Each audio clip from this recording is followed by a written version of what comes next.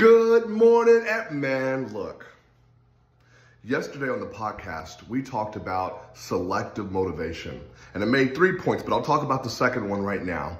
The second idea was how do you select what is motivation to you? When adversity happens, when all these bad things happens, when hardships and setbacks and challenges and trauma happens, do you select that thing as motivation? And you say, yep, this is motivation. I had some, I had a death in the family. This is motivation to keep going. And I have seen people, first off, let me say, if you've lost someone, this is traumatic and this sucks. I can't even imagine it.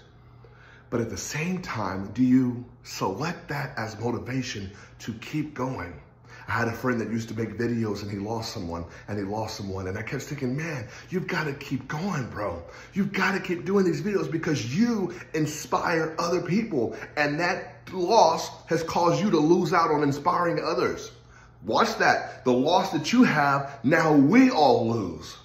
Does this make sense to you? When you lose something and you stop giving it to others, now we all lose. And you have to say, this trauma, I'm going to now use to be my triumph. And I'm going to make sure I select it as motivation to keep going, to keep growing, to keep inspiring people. Maybe you opened up a business and it didn't work out. Select that as motivation. Say, oh, I'm gonna go, I'm gonna go harder now. I have a new idea. I'm gonna retool. I'm gonna repurpose, but I'm not going to quit.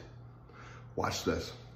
Even when you have opinions, you still have options. Okay, I'm, I'm a, did you hear what I just said?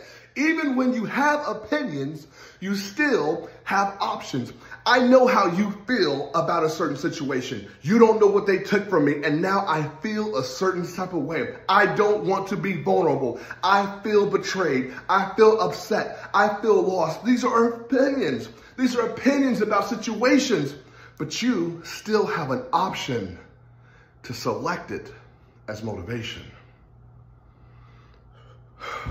I don't know what you've been through, but we've all been through it.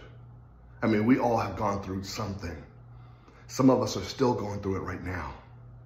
But all these things, I hope that you use them as ingredients, ingredients for something better, and you build a new foundation on these things that you're going through when you say, yep, this is motivation. This is my motivation to keep going, regardless of how I feel, regardless of my opinions. I'm selecting the option to stay motivated.